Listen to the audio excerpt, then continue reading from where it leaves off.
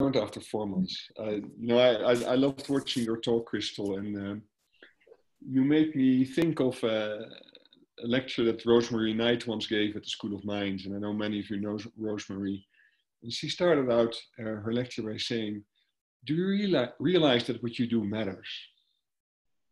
That you don't do it in a vacuum, but that it matters." And I, and I thought it was I think sort of many of us know that, but she articulated that uh, that, that, beautifully, and um, and I like the broad view that you took in your uh, in your presentation. I, let me let's first take a minute and see if there's any reactions about the uh, session that I did yesterday. I mean, maybe you've been sleeping on it or something else came up. I'm just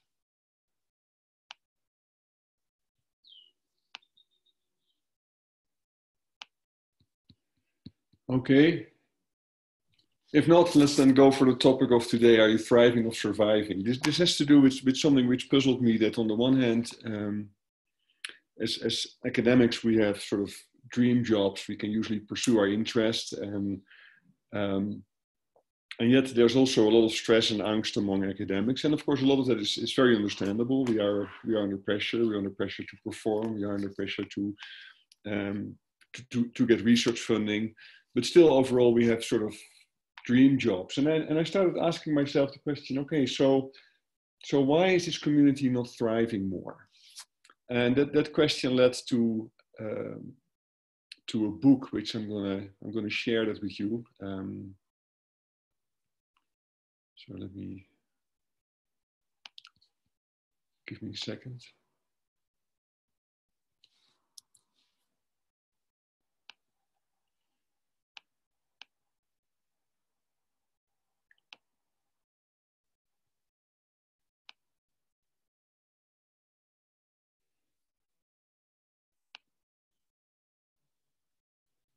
Okay, do you see the, the whole book, the one slide, or do we need to switch screens?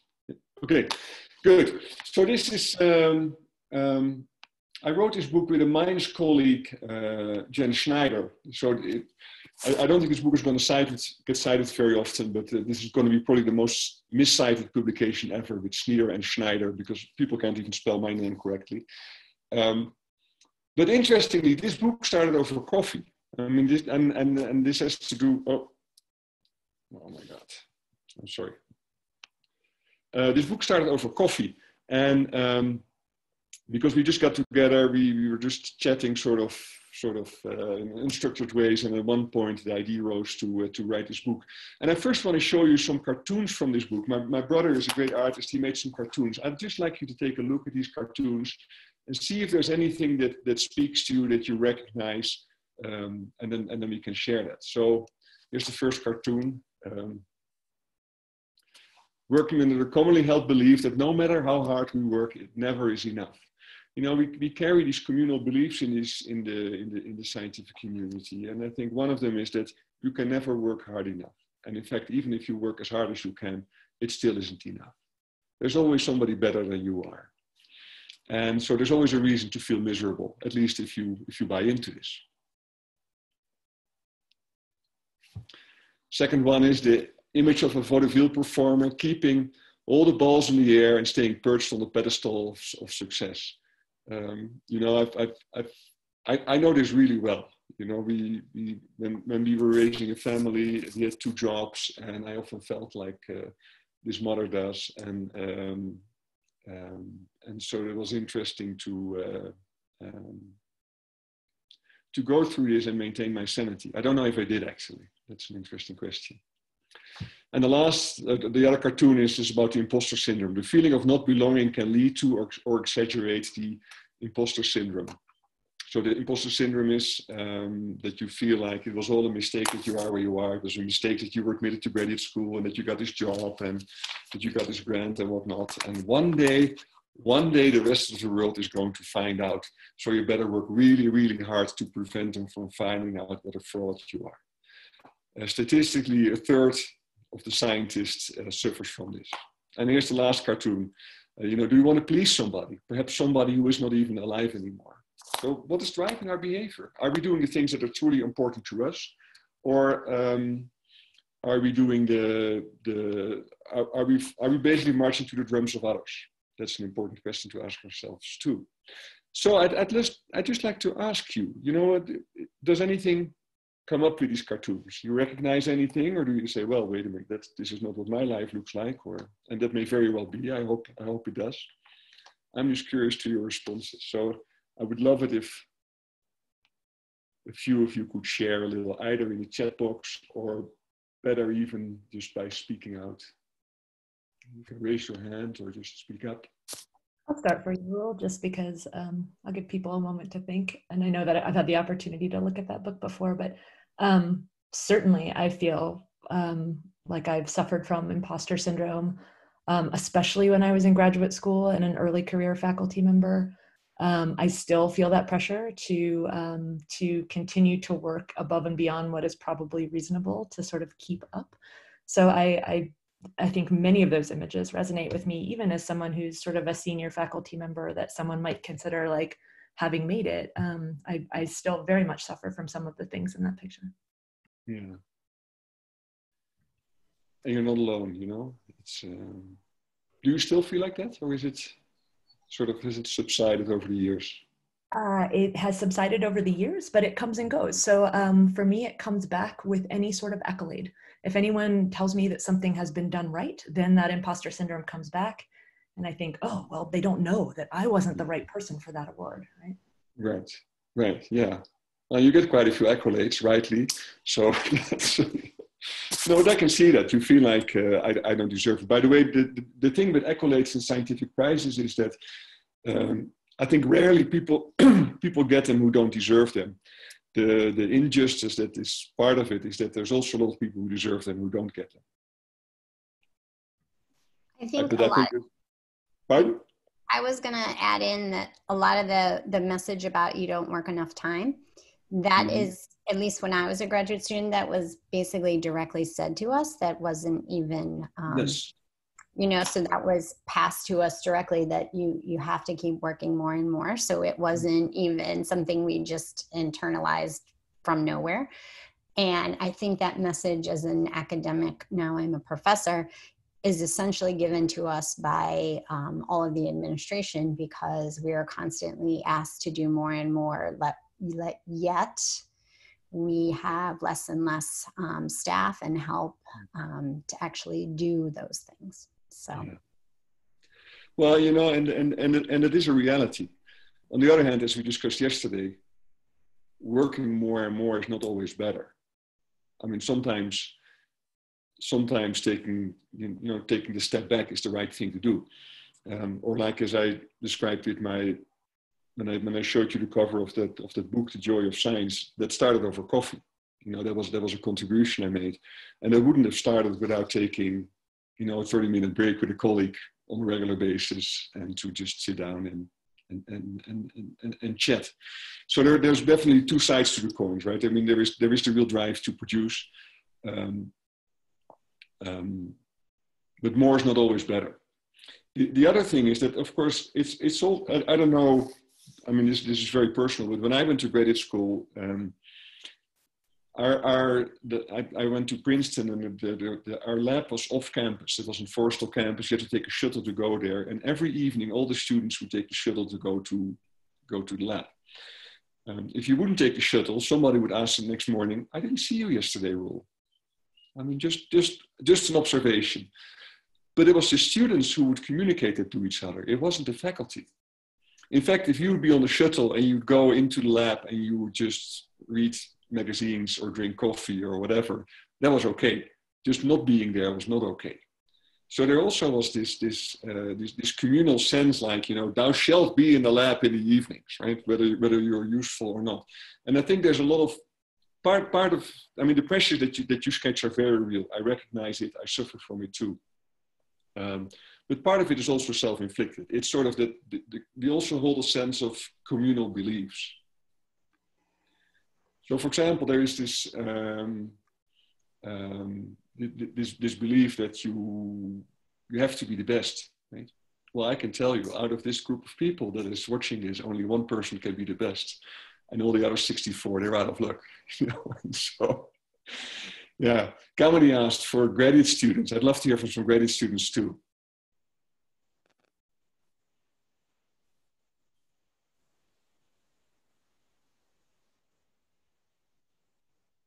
Takers? Yeah, I guess just to echo the work expectation, I remember walking into orientation, and the first sentence that was relayed to us was if you're not working 60 plus hours a week, you will not be a successful graduate student. Um, mm-hmm. and that has really sat with me throughout this whole process. Yeah, yeah. And the interesting thing is what lies behind that statement, right? Because sometimes I mean, sometimes we have to work hard, right? There's a lot of things to be done to to um, to make progress, but we also have lives to live. You know, um, we have we have a life outside of outside of work, um, and I simply don't think that that working harder and harder to the point of exhaustion is actually productive. And of course, where to find it, that that that that where to draw the line that's that's a hard that's a hard question to answer. Um, but a lot of it, I think, is also something that we impose on each other. Uh, this, this, this sort of this relentless uh, drive to be the best, and the, the, the, the thing that the, the, the belief that you can only be the best if you give everything, everything. Um, and let me tell you, you know, your life is a fixed sum game. So what you take away from one part of your life, what you take in one part of your life, you're going to take away from another part of your life. It's very simple. I want to give you a different perspective on this too, and I want to show you uh, uh, first a cartoon and then and then a brief video that that sort of illustrates this. Um, okay, so we'll go to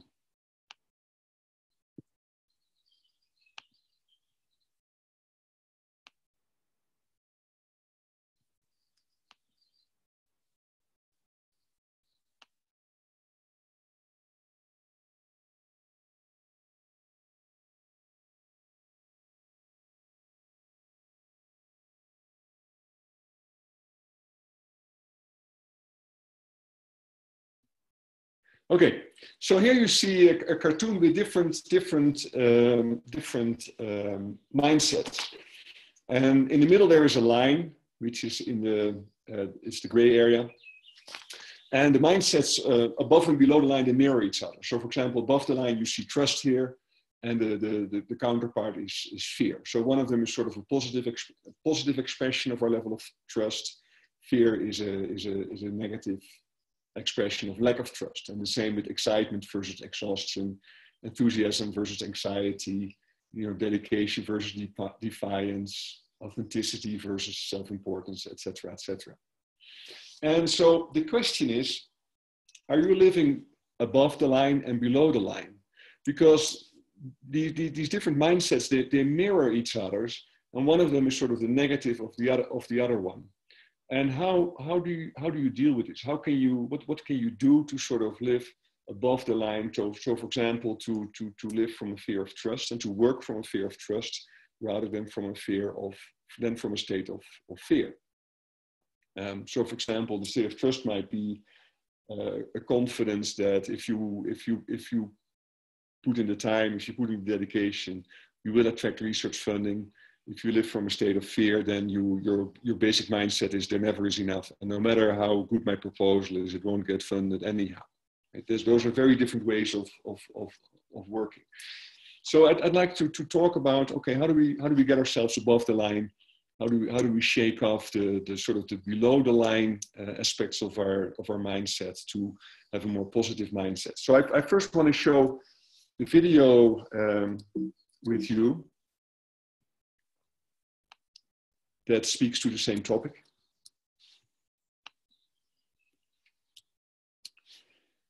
Let me see. Um,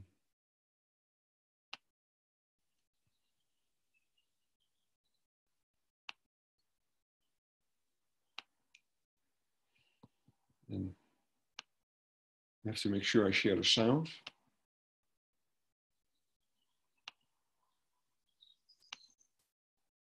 Okay, you can see the, the video. Here we go.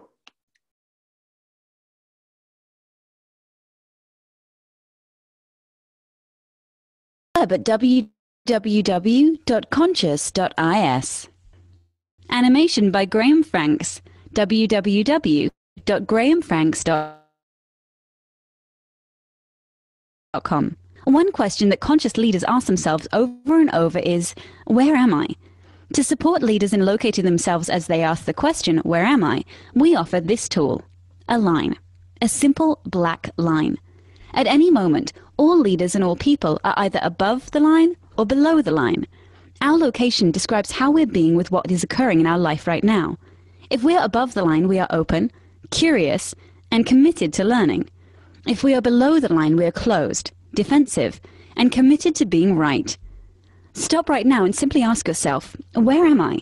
In this now moment, am I above the line or below the line? Typically, when people are below the line, they believe certain things about the world. For example, they believe there is not enough. It could be that there's not enough money, or time, or space, or energy, or love. People below the line also believe that their story about the situation is right. People below the line also believe that there is a threat out there. Something or someone is threatening their desire for approval, control, or security and people below the line see the situation as serious. The deeper below the line they are, the more serious things look. People below the line tend to behave certain ways as well. They tend to cling to an opinion, find fault and blame, gossip, explain, rationalize and justify, get overwhelmed, and avoid conflict or pursue conflict for the sake of winning. When people are above the line, they believe that learning and growing are more important than being right. They believe that all people and circumstances are their allies, here for their growth.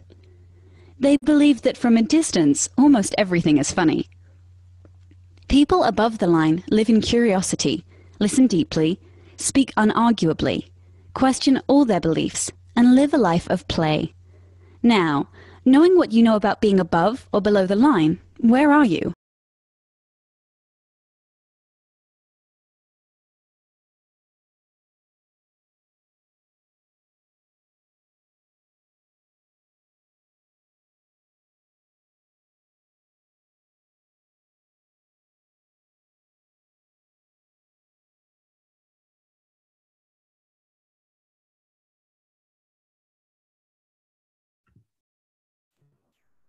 Roel, did we Yeah. lose you?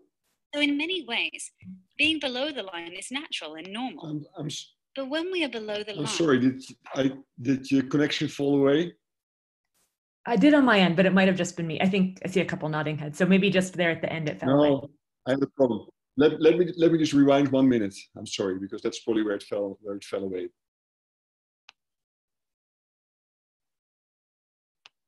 right, they believe that all people and circumstances are their allies, here for their growth.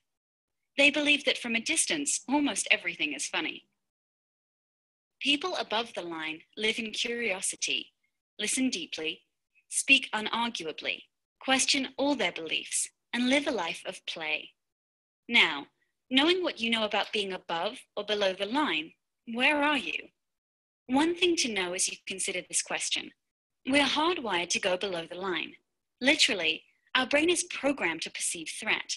And when it does, a chemical cocktail courses through our veins, and we go below the line. This reaction was designed to help us survive in the presence of a real threat to our physical survival. An issue for modern day leaders is that often our brains can't tell the difference between a threat to our physical survival and a threat to our ego or identity. We react and get defensive when we experience a threat to our ego. So, in many ways, being below the line is natural and normal. But when we are below the line, we're not in a state, literally brain state, of high creativity, collaboration, innovation, and relational connection. We're simply trying to survive. Leaders today can't thrive if they're in survival mode. So, the first activity of conscious leadership is location, location, location. In this now moment, where am I? Telling ourselves and others the truth about our current location begins the great conversation. Okay, I'm I'm gonna just put back in one of the later images. I, I, I love I love this this image. Um, you know, I think actually this Ro, crystal and a talk. Yeah, Ro, are you sharing your screen? Are you sharing your screen? I hope so. Uh, Am I not? Not at the I- moment. Not not right now. Oh my God. I'm sorry. oh yeah. Oh, when I got disconnected, the screen share fell away. I'm it's okay. sorry. We, we heard the rest of the video, so it's yeah, it's okay. Okay, but I will share. I want to share the screen with you because I want to show you this this cartoon. I think it's okay. Um, so here you have the, the sort of above the line and below the line. This this this drawing that was made in the in in that video, um, which I did not square, share with you, I feel I'm, i apologize for that. Uh, sort of exemplifies the same the, the, the, same mindset as we saw in that earlier earlier diagram that, that I showed you. And um, so the living below the line, it, I mean, it's, it's, interesting to look at some of the keywords. You know, there's words like, you know, fault and blame, security, gossip, control, conflict, approval, feeling overwhelmed are all parts of being uh, below the line. And then above the line, you have words like, you know, curiosity, question, uh, speak deeply, listen, uh, are, are, all above the lines. And I think we all agree that we, want to live above the line, and we probably are better scientists if we live, live above the line. And, um, um, and, and what the video pointed out is that the, the, the, our, brains are hardwired to see threats and to be, and to be concerned and, and to, to push us into survival mode, and that, and that gets us below the line. So we need to take action to, to, to, to get a different mindset. This is not something that comes naturally um, you know, I, I, I, I loved when I hear Crystal speak when she, when she got advice like, well, if you're doing this sort of work, it's sort of extra and this does not really count to your, to your, uh, to your normal job, right? That's the below the line thinking. Like there, there is not enough and, and this is, this doesn't fit into the, the mold of what, of what we do. So if you're crazy enough to do it, well, go ahead, but you do it in your free time. And then it turns out to be a very successful project that attracted a lot of grants. And, and it was just, I presume, by having a mindset of just, you know, knowing what's important, going for it, um, and, and, and just diving in. So the question, so here's the, here's the, the, the, the, question. So how do you, how do you get yourself above the line? How do you get yourself out of that mindset uh, that you see in the bottom half of this of this cartoon. What can you do in your, in your normal daily life to basically get above the line, to get into a positive and a constructive mindset in which you thrive, instead of living in a mindset where you are in, in survival mode? So I'm going to stop the sharing. I'm going to share, by the way, I'm going to share the slides with uh, with Kamini. You can I mean, if you could forward them and it has the link to this to this video and other materials so that uh, so I'm curious to hear about your thoughts. You know, what what what can you do to to get yourself um, above the line to help you thrive? Any ideas?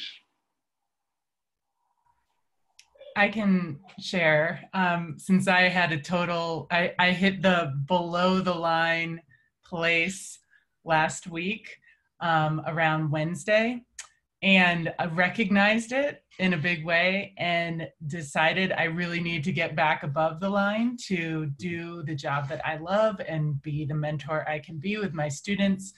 Um, and to what I think is really important, which is regain my sense of humor, which I found is key in this job. Um, so I just, I hit a hard stop. I sent an email out to my students. I said, I'm going offline for four days. I went outside and I camped with my family and my quarantine pod of friends. And I came back ready to go on Sunday evening. And it was the best thing I could have done. And I try to impart that in mentoring my students too. We talk a lot about kind of personal sustainability in doing this work and taking breaks and also um, co-developing our I, our goals and our our deadlines together so that when we have those moments of like i'm not getting this done we can kind of revisit why and unpack it and say right. is it because i i need a break or or what is it so we talk a lot about this process in my yeah. group and i try to honor that by doing doing the work myself.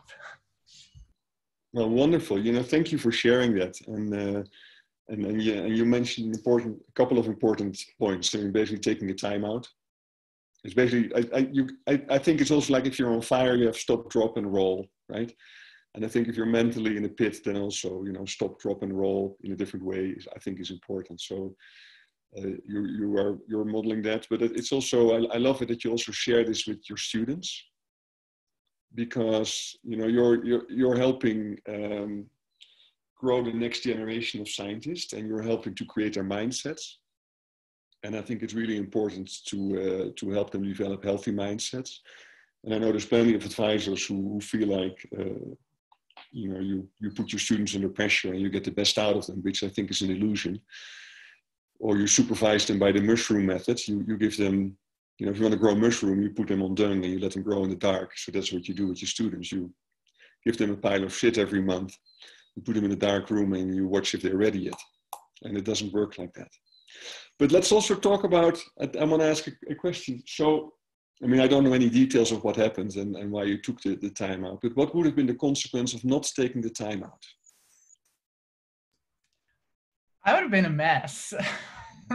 I wouldn't have been able to work effectively um, on, on anything by myself, with my collaborators, with my students and I I I've had enough years behind me now that I know that. So it became very yeah. obvious to me. Yeah. And you might have been a mess for yourself and you might have created a mess for others too. At least that's what happens to me when I get overwhelmed and I get below the line. I start snapping at people and I start to, uh, you know, sometimes I, I create conflicts or I don't handle conflicts well or whatever. um, you know, one, one, one warning sign that I see is that when I start to rehearse conversations in my mind, conversations that I'm going to have with somebody, when I, when I see myself do that, I know, okay, you're on the wrong track. Because you start to, to live in that world of, of just fear. So rather than just, in this case, just dealing with the issue, just now you spend your mental energy on, on, on, on virtually dealing with the issue, in a, usually in a very toxic way thank you for sharing that. Thank you. Yeah. Other suggestions? I can share. Um, I think for me, you know, setting priorities are really important. Yeah. Um, sometimes we, I mean, in academia, you have, you always have deadlines. You always have things to do. And sometimes I, I, I find I tend to be, you know, buried in these deadlines, details, and forgot to come back and think about what's important to me. So I think yeah. taking a step back and, and, and read, looking at the bigger picture a bit and think about what's really important is, is one way for me to get out. I was thinking about the crystals, you know, um, experience about, you know, you are doing too much outreach. That's what other people tell her. But you know she nice. if this is really important to her that make this is on top of her priority list and it's important to her. So um, I, think it's important to to to think about what's important to yourself. Right you know that that, that I, I love the point that you make. And and and and there is a um, it's very important that you know by which drummer are you marching and are, are you marching by your own drummer or are you, are you marching by the somebody else's drummer. And I, and I don't want to say this in the sense of being asocial, absolutely not. We need to be aware of the fact that we are part of a network, that we are not on this planet alone, that we're not at the workplace alone, so that we're part of a, you know, a web of people. Uh, this is what Stephen Covey calls the state of interdependence. Um, but it's important that you also know um, what, what are your priorities, because it's very easy to let the rest of the world set your priorities, right? By dumping world in your lap, work in your lap, or by raising expectations. Um, so thank you for, for bringing that up. Yeah, any other comments? Any other suggestions?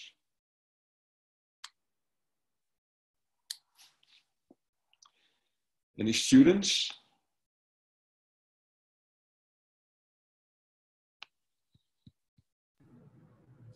I was going to say, this is Pam, just even recognizing it, I think took a long time for me. Like yeah. trying to, trying to actually set up a system to recognize when I was starting to spiral down so that I could start to make steps away from that. It took me a long time to see that. And, you know, I, it's, I don't know if there's a way to help people develop you know, warning warning signs sooner so they know how to monitor themselves because I wish I had known how to. Great. Well, I love it that you that you bring it up, Pam. And I think um, you know one of the ways of, of monitoring um, monitoring them that is is sort of uh, what I would call maintaining mental hygiene. Like if you if, if you if, if you live in a place and you never clean it, it becomes a mess. And our mind is like that too. There's just stuff and patterns accumulating there. And it's important to be aware of what, what goes on in your mind. And so the, the, the monitoring, the mental hygiene, that's, uh, I, I, have a friend, he's a psychiatrist, and he, he often admonishes me and he says, Roel, what's your mental hygiene? When, when, did you, when did you clean for the last time? I mean, but, but your thinking matters. You know, you might think that your thoughts are ethereal things, and of course they are in certain ways, but they help uh, shape your, your reality. So, for example, if I go to work and I feel resentful because um, I, I, feel not recognized or whatever it is, and I'm, I'm start and, I'm, and I keep on telling myself, you know, you work so hard and nobody recognizes what you're doing, and why are you really doing this? So I'm losing my motivation. Um, I, I might actually stop listening to colleagues because I'm actually so busy telling myself what they are thinking, that I actually stop listening to what they actually are telling me. Um, I may spend a lot of energy, I a lot of energy on it. I may, you know, create a state of fear or resentment or any of these mindsets that is below the line. And and really there what what it might just take is to is to say, well, just stop thinking about it and put your mind at, at something else. And then and then you know set a priority in what you're going to do and put your mind onto something else and and you, you, there's different ways for it. You can you can call it. Uh, uh, I, I, usually I usually refer to this as the inner dialogue. We we continuously have a have a dialogue going on in our head, and it's more a monologue actually than a dialogue, I should say. We're telling ourselves stories all the time of what the world is like, what other people are like, what our situation is like, and and uh, we tend to sort of of reinforce that. So to just be aware of your inner dialogue is is is, is really is really important. And so, Pam, you asked for early early warning signs. You know, you're, you're monitoring your, your inner dialogue is could be a very good uh, warning sign. And, and if you discover, for example, that let's go back to the to the example that I just gave of that you might feel underappreciated, um, to just stop thinking about it, or maybe ask yourself the honest question: Am I really underappreciated? Am I just missing something, or may, or maybe uh, choosing to think like, okay, well, maybe I'm underappreciated, but I'm doing important things and that's my satisfaction. And then you just move on from there. And that takes a lot of effort to, um, to make that into a habit. But I, re- I really want to encourage you to, uh, to, uh, to monitor your inner dialogue. Um, and here again, it doesn't, this is not something that, that needs to take much time. If you think like, I'm too busy to do this, I think you're fooling yourself. Uh, you know, just stopping for two minutes and and and have a check in like, okay, what's going on, and how can I how can I reset? You know, that could you could build in a minute during the day, a couple of minutes during the day. You could reflect at the end of the evening. Um, some people like to journal. I don't, but uh, some people like journaling. This is also where meditation comes in because you'll become aware of what's in your mind because the things that are really on your mind they keep on popping back even though you you don't want them and so that is very telling too. Um, so that's that's something that I, I really want to encourage you to do to, to, to just check on with yourself. What's going on? What am I thinking about? Can I can I take a different point of view?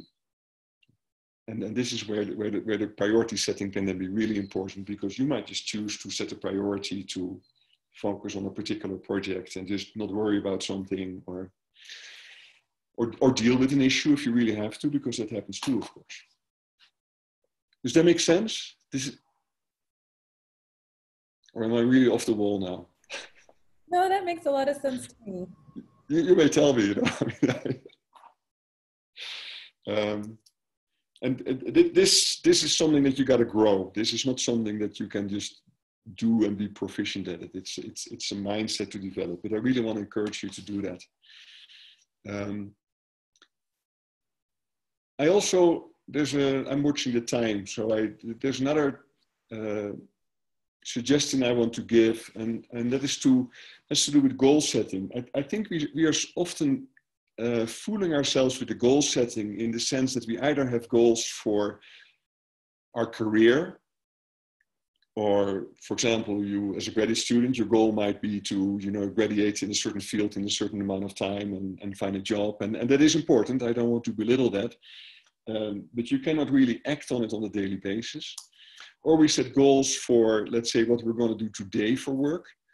Um, but in one day it's usually not enough to bring to bring sort of a variation in, in our activities so i, I want to I want to um, encourage you to sort of set goals on a time scale of say about a week, because a week is a time scale where you can say, okay, how do I incorporate, let's say, work goals and personal goals, and and so I want to show you an example of a of I, I just wrote down something of what what might be a week, uh, a goal on the time scale of a week. Um,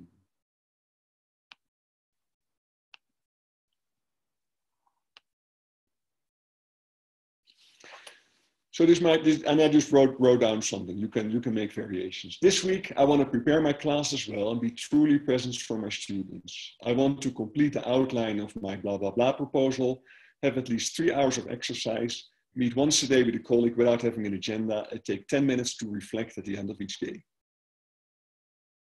Right? This is a very, this goal is basically compatible with, with many, many different lifestyles. Um, although with a young family, this might this might be hard, getting into three hours of exercise. Um, but it's sort of a, a, different type of goal than you probably are used to. This is a goal that, that articulates um, the different posts that you want to hit during the week, which have to do with the, with the way you perform your work.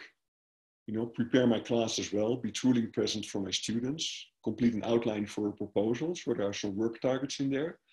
Uh, there is exercise in there, three hours of exercise. You can actually sort of measurable, right? If you've done three hours or not.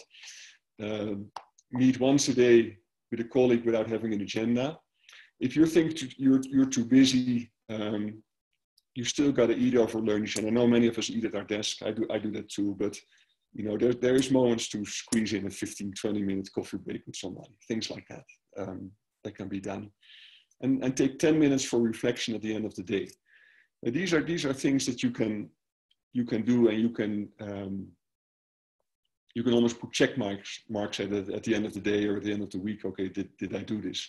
And this comes back for example to the question of, of evelyn also no oh, sorry ben like how do i get the early warning signs? Well you know the 10 minutes of reflection at the end of the day might might tell you what the early warning signs are and it might help you make decisions on what you're going to do the next day and of course, you could pack up and go for four days, but there, there might also other things you can do that are less, less disruptive for your, uh, for your life. So this is, you know, this is just a simple suggestion. And, and if you do these sort of things, um, like use a, articulate a goal like that, um, I want to I want to encourage you to write them down. Write them down and post it somewhere. And and some of you may, may notice that you have a resistance in doing that. And that resistance often is due to the fact that we don't want to commit to, to something. We don't want to commit to setting this as a goal, for example, because maybe we don't want to exercise or whatever it is. And, but I think it, at least it really helps me to, to write down these things and to, to post them in a, in a way that I can see them. Um, because it helps increase my, my commitment to these uh, um, to these sort of action plans. Okay, I'm watching the time. I just want to leave some time for just comments or um, I'd love to hear your reactions.